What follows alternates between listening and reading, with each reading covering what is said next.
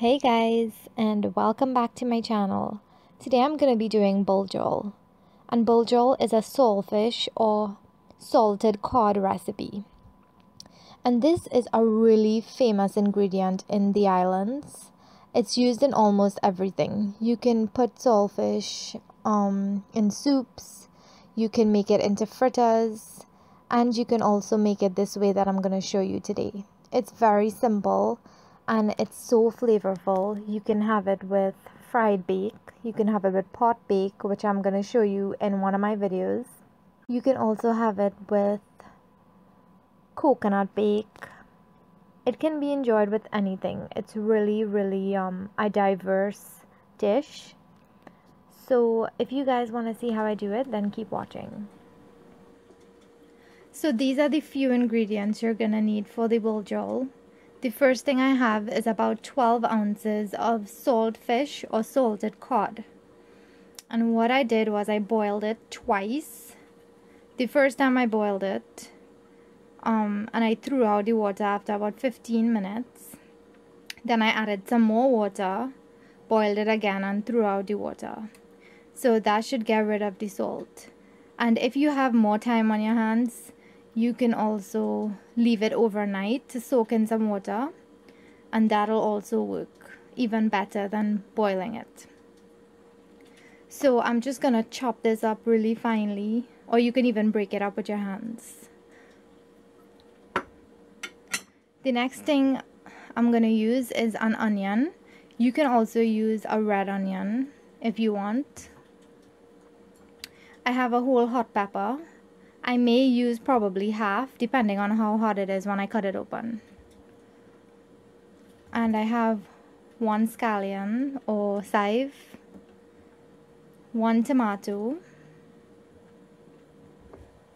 I have a few sprigs of cilantro and just a little bit of celery leaf. So I'm gonna cut everything up. I'm gonna dice the tomatoes into small cubes. Same thing with the onion and everything. Everything is going to be cut really finely. So I'm going to show you how I prepare everything and then I'll come back and we'll just assemble it.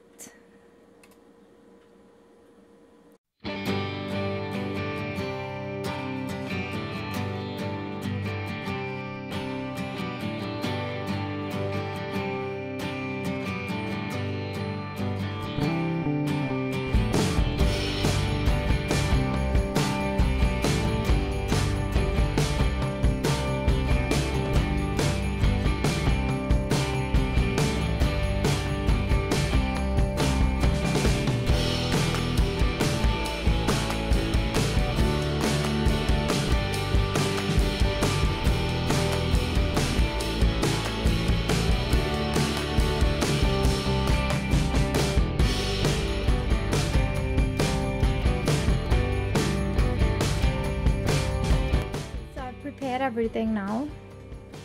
Now what we're gonna do is just assemble it. It's so easy. We're just gonna put everything together and taste it for salt and pepper.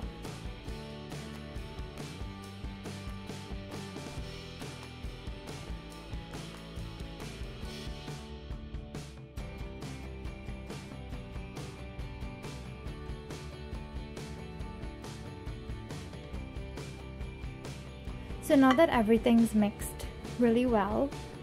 You can taste it for salt or pepper. And when you use saltfish, you really don't need to, to add salt. I'm also gonna add a little bit of black pepper.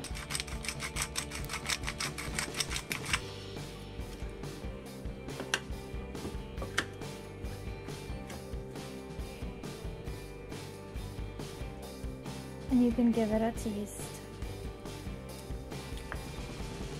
See if it needs anything. So I think mine is perfect. It doesn't need salt or pepper or anything. And you can eat this with fried bake, with coconut bake, with pot bake, which I'm going to be eating it with today. And I'll link a recipe to that in the description box below and the info above. So I hope you guys enjoyed this really simple buljol recipe. I hope it was simple enough and um, If you haven't subscribed yet, hit the subscribe button, like the video, and leave me comments below. And I will see you guys in my next video. Bye.